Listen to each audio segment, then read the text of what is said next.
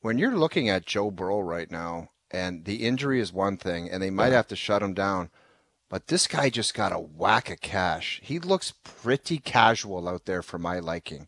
Maybe Hazy B doesn't mind it, but not for my liking. Yeah, I'll, I'll support Joe Burrow. You go ahead. You be a hater of Joe Burrow. Let's see how long that's Does- going you don't last. think Hazy that he looks a little bit cat? He's like, yeah, you know, kind of tough start. Wow, You know, he's got the thing rubbing his calf on Joe the side. Cool. Yeah, I it's hear just you. like you're I a little too cool for school right now.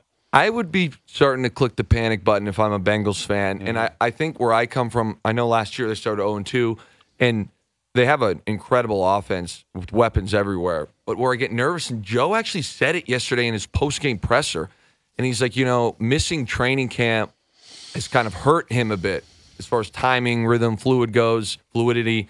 And my thing with Joe Burrow is he's not a 10 year vet. It's not like, you know, he's been an elite quarterback for a couple years, but it's not like he's an Aaron Rodgers or a Tom Brady that can just kind of be like, hey, I've been doing this for 15 years. Right. Training camp isn't as important. It still is important to those guys, but at that position, at his age, he's got to feel the rhythm, the timing, the throws. It's not there. Now you got a calf injury, which is going to mean that he's going to be limited this week in practice. Maybe not full speed the whole week, so you're going to get even less reps.